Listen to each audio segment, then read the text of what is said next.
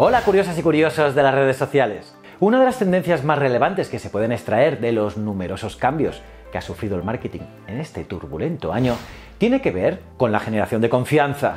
Las marcas que han logrado ganarse la confianza de los consumidores este año probablemente cuenten con una gran ventaja con respecto a sus competidores en los años venideros. Esas marcas han tenido que ser capaces de ver lo que realmente las personas valoran y asegurarse también que sus promesas estén en sincronía con su capacidad de cumplirlas. Cuando los mensajes se conectan con la entrega, la confianza florece y la empresa gana. Pero cuando la entrega no cumple con las expectativas, la confianza se destruye. El contexto pandémico ha arrojado luz sobre la relación entre marca y confianza, lo que significa que la reputación se determina por la conexión entre lo que promete mensajes y publicidad y lo que finalmente entregas en forma de experiencias. Pero entonces, ¿cómo lograr esto? ¿Qué errores pueden afectar la generación de confianza entre consumidores y marcas? Pues si quieres saberlo, este vídeo es para ti. Y ojo que no te olvides suscribirte y darle a la campanita para estar al día de todos los contenidos sobre marketing que realizo aquí en este canal. Cada semana cuelgo tres vídeos. Soy JJ Priego y esto es Easy Promos TV. ¡Vamos!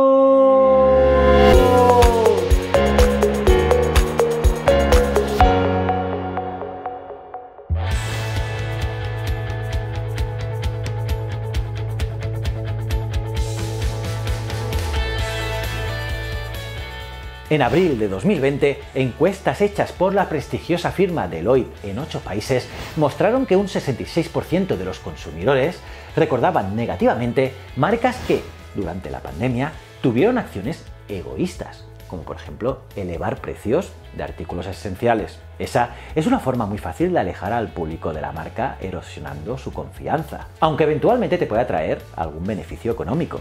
Y estos son errores que suceden cuando no se toma en cuenta el marketing que siempre pretende fortalecer esos vínculos entre marca y consumidor.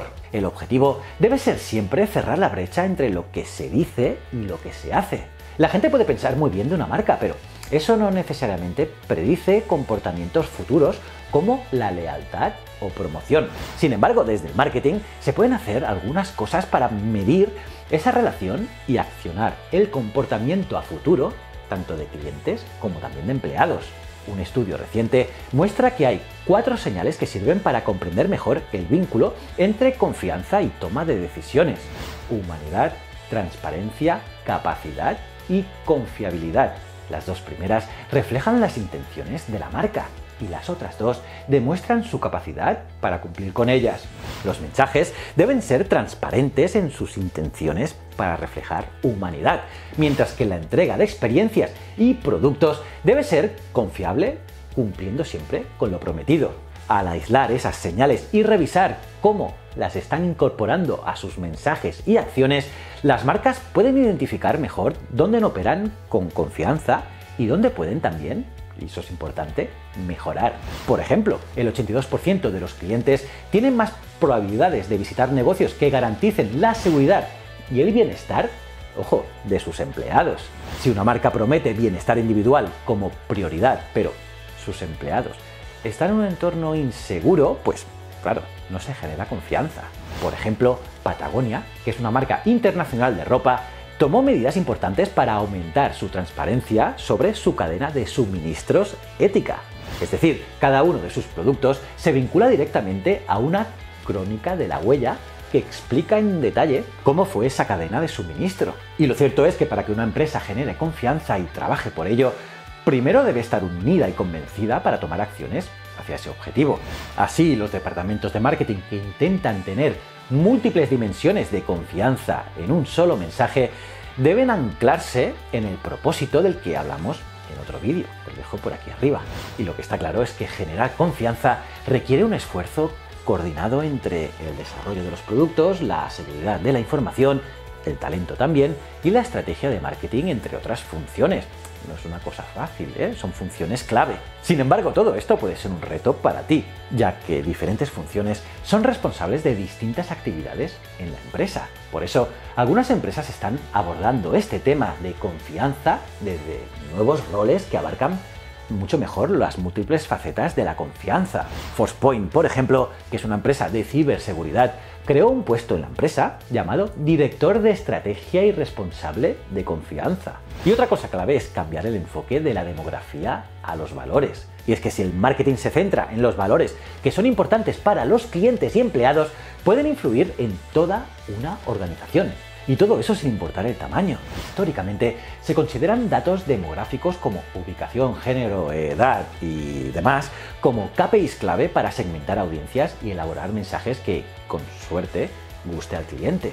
La demografía es un método de estimación, un indicador de cómo puede comportarse el cliente. Pero si se habla directamente a las personas sobre qué es lo que valoran, se puede comunicar a toda la organización una forma más significativa de abordar las necesidades de las personas para quienes se han creado esos servicios. Al final nuestros valores informan nuestros sentimientos y en consecuencia nuestras acciones.